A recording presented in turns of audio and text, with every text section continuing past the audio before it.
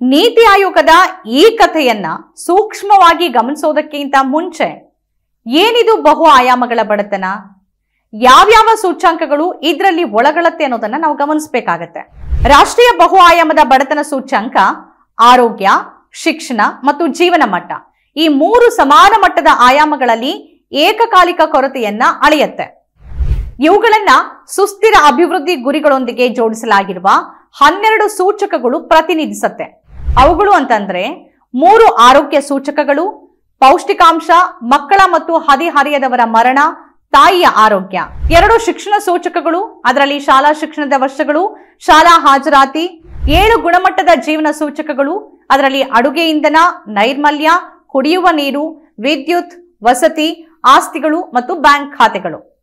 ಹೀಗೆ ನೀತಿ ಆಯೋಗದ ಎನ್ಎಂಪಿಐ ಹನ್ನೆರಡು ಸೂಚಕಗಳನ್ನ ಹೊಂದಿದ್ರೆ ಜಾಗತಿಕ ಎಂಪಿಐ ಹತ್ತು ಸೂಚಕಗಳನ್ನ ಒಳಗೊಂಡಿದೆ.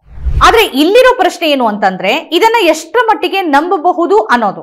ಅದನ್ನ ನೋಡ್ತಾ ಹೋದ್ರೆ, ಕಳೆದ ಒಂಬತ್ತು ವರ್ಷಗಳಲ್ಲಿ ಇಪ್ಪತ್ತೈದು ಕೋಟಿ ಮಂದಿ ಬಡತನದಿಂದ ಹೊರ ಬಂದಿದ್ದಾರೆ ಅನ್ನೋ ನೀತಿ ಆಯೋಗದ ವಾದದಲ್ಲಿ ಪೂರ್ತಿ ಸುಳ್ಳುಗಳೇ ಇದೆಯಲ್ಲ ಅನ್ನೋದು ಗೊತ್ತಾಗತ್ತೆ.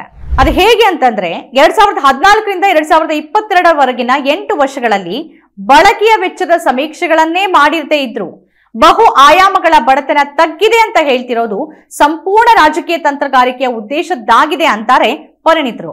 ಮೊದಲಿಗೆ ನೀವು ಗಮನಿಸಬೇಕಾಗಿರೋದೇನು ಅಂತಂದ್ರೆ, ಬಡತನ ತಗ್ತಿದೆ ಅಂತ ಹೇಳೋಕೆ ನೀತಿ ಆಯೋಗ ಬಳಕೆ ಮಾಡ್ಕೊಂಡಿರೋದು.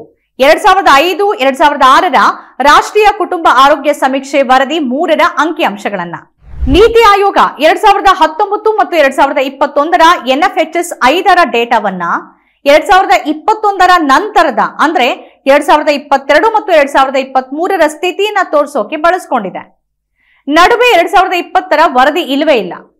ಕೋವಿಡ್ ಕಾರಣದಿಂದಾಗಿ ಇಪ್ಪತ್ತೆರಡು ರಾಜ್ಯಗಳಲ್ಲಿ ದತ್ತಾಂಶ ಸಂಗ್ರಹಣೆಯನ್ನ ನಿಲ್ಲಿಸಿದ ನಂತರ ಸಮೀಕ್ಷೆ ಸ್ಥಗಿತ ಆಗಿತ್ತು. ಇದರ ಅರ್ಥ ಏನು ಅಂತಂದ್ರೆ, ಕೋವಿಡ್ ನಂತರದ ಎರಡು ವರ್ಷಗಳವರೆಗಿನ ಸ್ಥಿತಿಯನ್ನ ವಿವರಿಸೋಕೆ ಮತ್ತೆ ಅಂದಾಜಿನ ಮೊರೆ ಹೋಗಲಾಗಿದೆ. ಮೊದಲಿಗೆ ಶಿಕ್ಷಣ ಸೂಚಕಗಳಾದ ಶಾಲಾ ಹಾಜರಾತಿ ಮತ್ತು ಶಾಲಾ ಶಿಕ್ಷಣದ ವರ್ಷಗಳು. ಕೋವಿಡ್ ಸಮಯದಲ್ಲಿ ಮಕ್ಕಳು ಎರಡು ವರ್ಷ ಶಾಲೆಗೆ ಹೋಗೋಕೆ ಸಾಧ್ಯವೇ ಆಗಿರಲಿಲ್ಲ.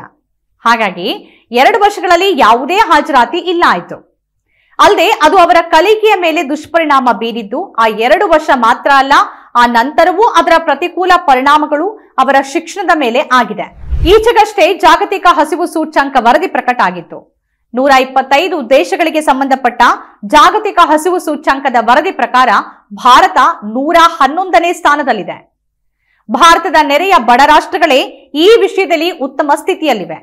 ಪಾಕಿಸ್ತಾನ ನೂರ ಎರಡನೇ ಸ್ಥಾನದಲ್ಲಿದ್ರೆ ಬಾಂಗ್ಲಾದೇಶ ಎಂಬತ್ತೊಂದು, ನೇಪಾಳ ಅರವತ್ತೊಂಬತ್ತು ಹಾಗೂ ಶ್ರೀಲಂಕಾ ಅರವತ್ತನೇ ಸ್ಥಾನದಲ್ಲಿವೆ. ಆದ್ರೆ ಆ ವರದಿನೇ ಸರಿ ಇಲ್ಲ ಅಂತ ಸರ್ಕಾರ ಹೇಳ್ತು. ಆ ನಂತರ ಸರ್ಕಾರದೊಂದಿಗೆ ಸೇರಿ ಕೆಲಸ ಮಾಡುವ ವಿಶ್ವಸಂಸ್ಥೆಯ ಆಹಾರ ಮತ್ತು ಕೃಷಿ ಸಂಸ್ಥೆನೆ ಮತ್ತೊಂದು ಕಹಿ ಸತ್ಯವನ್ನೂ ಜಗತ್ತಿನ ಮುಂದಿಡ್ತು. ಅದರ ಪ್ರಕಾರ ವಿಶ್ವಗುರು ದೇಶದ ಶೇಕಡ ಎಪ್ಪತ್ನಾಲ್ಕು ಪಾಯಿಂಟ್ ಒಂದರಷ್ಟು ಜನರಿಗೆ ಪೌಷ್ಟಿಕ ಆಹಾರ ಸಿಗುವುದೇ ಅಸಾಧ್ಯ ಆಗಿರೋದು. ಈ ವರದಿಯಲ್ಲಿ ಬಹಿರಂಗವಾಗಿರುವ ವಿಷಯಗಳು ತೀರಾ ಆಘಾತಕಾರಿ ಹಾಗೂ ನಾಚಿಕೆಗೇಡಿನದ್ದು.